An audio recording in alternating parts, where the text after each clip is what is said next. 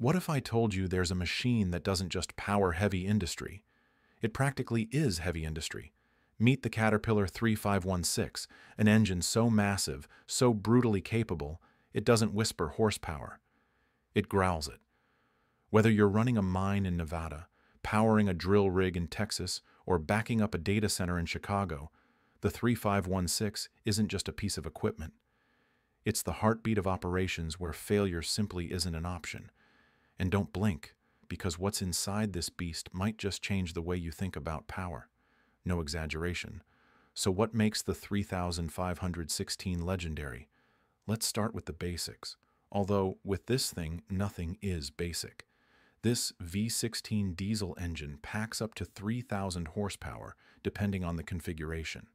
That's the kind of raw output that puts entire buildings into motion or propels the largest machines on Earth across job sites and oceans. We're talking 69-liter displacement, twin turbocharged, and after-cooled. Translation? It eats heavy loads for breakfast, and probably skips lunch because it's still not full. The moment you hear this thing start, you know you're not dealing with an ordinary engine. You're dealing with the industrial equivalent of a freight train, relentless, loud, and built to crush whatever stands in its path. Now, let's hit pause for a second, because at this point you might be thinking, this sounds cool, but what's it actually for?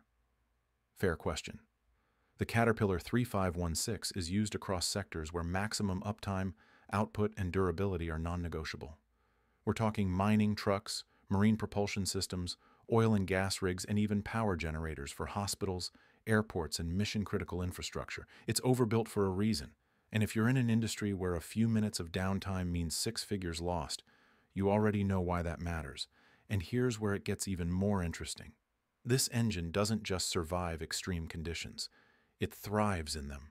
From scorching desert mines to Arctic offshore rigs, the 3516 is engineered to run in places your smartphone would freeze, crash, and give up.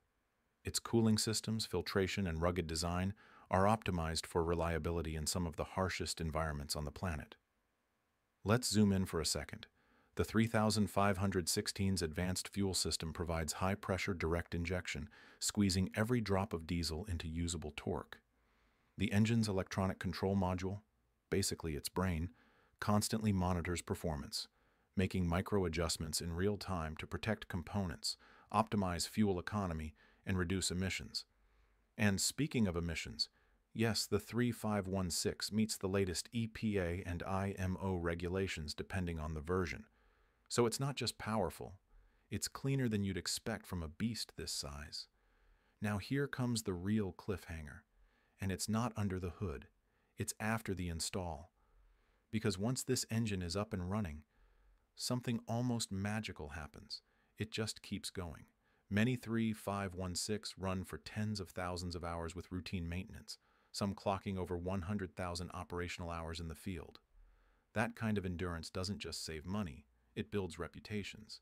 Entire operations bet on this engine because failure simply isn't in its vocabulary. And let's not forget serviceability. One of the secrets to its longevity is Caterpillar's global support network. Replacement parts, diagnostic tools, and trained technicians are accessible across the U.S., often in hours, not days. Let me hit you with a question. Would you trust a machine to carry your operation, your income, on its back for two decades? With the 3516, thousands already do. Now, here's the big takeaway. In a world obsessed with microchips, software, and going smaller, the 3516 reminds us that sometimes big, loud, and unstoppable is still the gold standard. So, the next time you pass a mine, a shipyard, or a power station, just remember, there might be a 3516 under it all, silently doing the work that nobody sees, but everyone depends on. If you found this video helpful, hit that like button. Want more behind-the-scenes looks at the engines powering America?